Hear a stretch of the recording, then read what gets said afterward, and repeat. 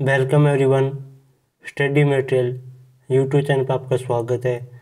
आज हम पशु की नेक्स्ट क्लास स्टार्ट करेंगे, जिसमें आप हम खीस के बारे में देखते हैं। चलो आज क्लास स्टार्ट करते हैं। खीस है वो बच्चा यानी जब भैंस या गाय को जब बच्चा देती है या उससे बच्चा जनन के तुरंत बाद वह सात दिन तक मादा थनों से प्राप्त शरण जो दूध की अपेक्षा गाढ़ा व पीलापन लिए होता है, उसे क्या खेस कहा जाता है?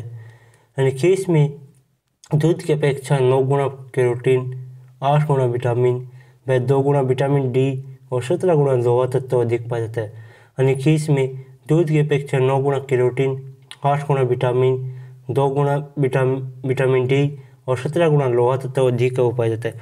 खीस का पीला रंग है वो किस कारण होता है? खीस का पीला रंग है वो कैरोटीन के कारण। खीस का पीला रंग है। वो होता है खीस का अपेक्षित वो एक पॉइंट ज़ीरो चार से एक पॉइंट ज़ीरो आठ है। एक क्वेश्चन यहाँ से क्वेश्चन आएगा कि खीस का पीला रंग है वो किसके कारण होता है कैरोटीन कारण होता है? और खीस का अपेक्षित वो क्या है? एक पॉइंट ज़ीरो चार से एक पॉइंट ज़ीरो आठ। खीस का अपेक्षित घनत्व इन्हें याद रखें। नवजात बछड़े को अपने शरीर भार का लगभग एक बटे दस भाग वो खीस वो पिलाना चाहिए। यानी नवजात बछड़ी को अपने शरीर भार का लगभग एक बटे दस परसेंट भाग वो खीस पिलाना चाहिए लगभग दो पॉइंट ज़ीरो से दो पॉइंट पाँच लीटर तक। यानी ये क्वेश्चन भी आता है कि नवजात बछड़े को खीस की मात्रा कितनी देनी चाहिए? वो उसके शरीर भार का लगभग एक बटे दस भाग है वो है वो पिलानी चाहिए नवजात बछड़े को। ये ध्यान रखें, ये इंपॉर्टेंट क्वेश्चन यहाँ से। और बछड़ा जब पहली बार मल त्यागता है तो उसे म्यूकोनियम कहते हैं। हाँ बछड़ा जब पहली बार मल त्यागता है तो उसे क्या कहा जाता है? उसे म्यूकोनियम कहा जाता है।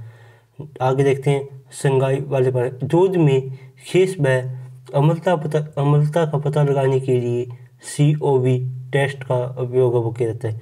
हाँ दूध में खीस, दूध में खीस व अमलता का पता लगाने के लिए किसका यंत्र का उपयोग किया जाता है? ये सी ओ वी टेस्ट का उपयोग किया जाता है। नेक्स्ट गाय व भैंस की खेस का संगठन हम देखते हैं। इसमें एक तरफ़ अवयव, गाय और भैंस। पानी में गाय की, गाय के दूध में पानी वो पचहत्तर पॉइंट अठाईस परसेंट पाया जाता है। व भैंस में सत्तर पॉइंट नब्बे परसेंट है वो वो पानी पाया जाता है। और कुल ठोस पदार्थ है वो। सॉरी, हम ये खेस में बात कर रहे हैं। खेस में पानी की मात्रा है वो गाय के में पचहत्तर पॉइंट अट्ठाईस और भैंस में सत्तर पॉइंट नब्बे परसेंट, खेस में पानी और भैंस से भैंस के खेस में पाई जाती है। कुल ठोस पदार्थ वो गाय में चौबीस पॉइंट सत्तर परसेंट और भैंस में उनतीस पॉइंट अस्सी परसेंट और कुल प्रोटीन है वो खेस में सोलह पॉइंट बारह परसेंट, गाय में और भैंस में इक्कीस परसेंट है वो प्रोटीन वो पाई जाती है। वसा है वो गाय में पाँच पॉइंट दस और भैंस में चार पॉइंट दस वसा पाई जाती है। खनिज लेवन एक पॉइंट दस गाय में और एक पॉइंट दस ही भैंस में पाया जाता है। नेक्स्ट, छेना। छेना से छेने के द्वारा रसगुल्ले वो तैयार वो किए जाते हैं। इसको हम दूध को फाड़ने के के लिए अमल का प्रयोग किया जाता है।